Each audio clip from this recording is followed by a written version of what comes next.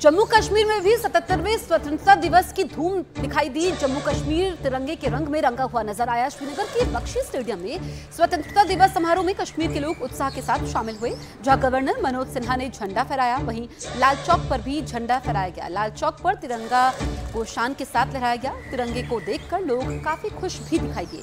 वहीं उड़ी में तिरंगा यात्रा निकाली गई, जिसमें बच्चे शामिल हुए। तिरंगा यात्रा के समय स्कूली छात्र जोशीले अंदाज में देशभक्ति के नारे लगाते रहे